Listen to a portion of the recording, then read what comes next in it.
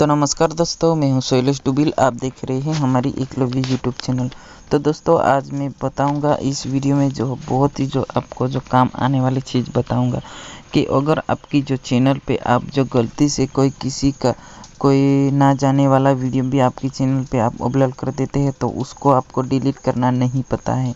ज़्यादा से ज़्यादा जो नए यूट्यूबर होते हैं, उसको जो ज़्यादा पता नहीं होता कि वीडियो कैसे डिलीट करें। तो आज इस वीडियो में आप, वीडियो बनते रहिए, आपको स्टेप बाय स्टेप बताऊँगा। अभी तक हमारे चैनल को सब्सक्राइबर नहीं किए तो सब्सक्राइबर कर लीजिए और अपने फ्रेंड को भी शेयर कीजिए।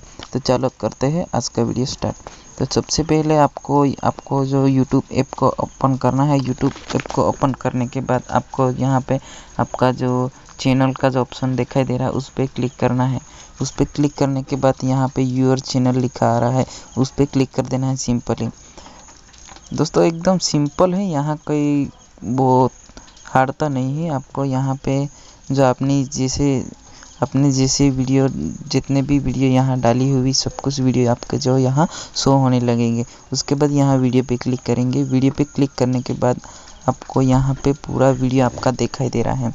तो इसमें से आपको कौन सी वीडियो आपको डिलीट करना है, ये आपको उस पर यहाँ वीडियो के सामने जो टाइटल लिखा आ रहा है, उस पर सामने जो आपको तीन डॉट दिखाई दे रहा है, उस पर क्लिक कर देना है। क्लिक करने के बाद आपको यहाँ पे डिलीट का ऑप्शन है। डिलीट पे आपको सिंपली ओके कर देना है। तो दोस्तों, जैसे आप ओके करेंगे, ऐसे आपका जो वीडियो पाँच सेकेंड में डिलीट हो जाएगा। तो दोस्तों, मैं वीडियो डिलीट करके नहीं बताऊँगी, मेरे को डिलीट नहीं करना है। तो दोस्तों, आज बस इतना ही। मिलते हैं नेक्स्ट वीडियो में। Bye bye Vande Mataram.